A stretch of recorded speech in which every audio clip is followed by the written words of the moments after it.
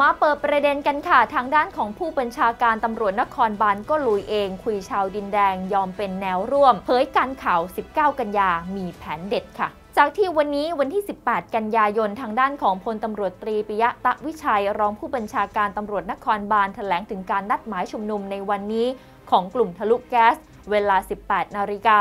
ที่แยกดินแดงยังคงก่อความวุ่นวาย และการชุมนุมวันที่ 19 กันยายนนั้น ทั้งนี้รองผู้บัญชาการตำรวจนครบาลกล่าวว่า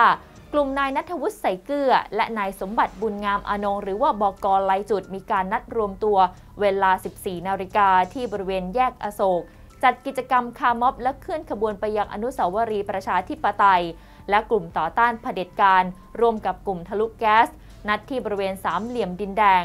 โดยกองบัญชาการตำรวจนครบาลได้มีการจัดเตรียมกำลังเจ้าหน้าที่ตำรวจ เพื่อดูแลรักษาความสงบเรียบร้อย เอาไว้แล้ว ผู้บัญชาการตำรวจนครบาลลงพื้นที่เข้าพูดคุยกับชาวแฟลตดินแดง เพื่อให้เป็นแนวร่วมในการดูแลรักษาความปลอดภัย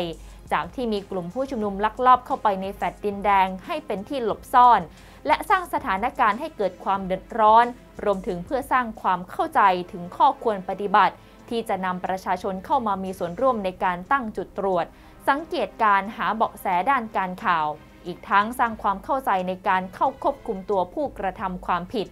หากเกิดเหตุการณ์ซึ่งหน้าอาทิ การวางเพลิง เผาทำลายทรัพย์สินคว้างปาสิ่งของวัตถุระเบิด หรือความผิดที่ก่อให้เกิดอันตราย พร้อมยืนยันว่าไม่ใช่การนำมวลชนมาชนกับมวลชน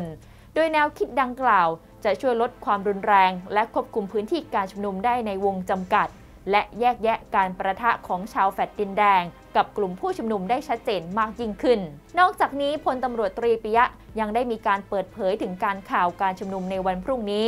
มีความห่วงใยเรื่องการจราจรสำหรับกิจกรรมคาร์ม็อบ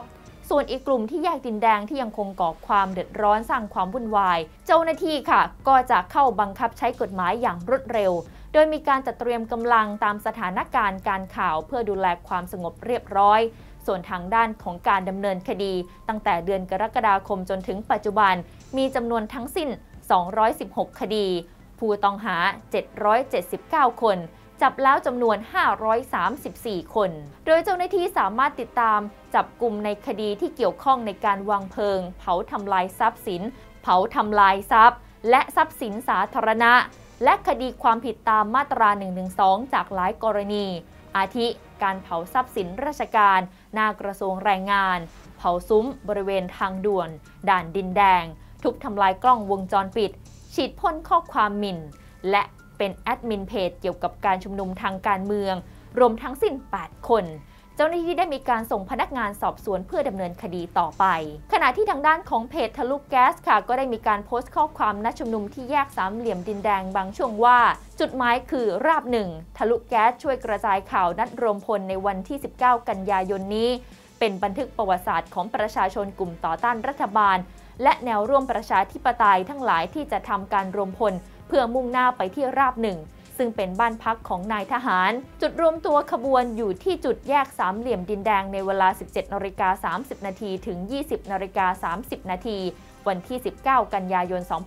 2564 ร่วมกันขับไล่ทรราชและกำจัดปรสิตบ้านเมืองให้หมดไป การเสียสละนั้นจะควรค่าก็ต่อเมื่อเราเสียสละเพื่อเปลี่ยนแปลงบางอย่างให้ดีขึ้น สำหรับท่านไหนที่มีปัญหาในการสมัครสมาชิกผ่าน YouTube แต่อยากช่วยสนับสนุนพวกเรา เราก็มีแพ็กเกจสนับสนุนทิศทางไทย ที่ท่านจะได้รับพรีเมียมเซตทิศทางไทยหัวใจรักชาติมาให้ท่าน สนับสนุนกันได้ง่ายๆ ติดต่อได้ที่ line at shop 4 store ตามที่ขึ้นอยู่นี้ได้เลยนะครับ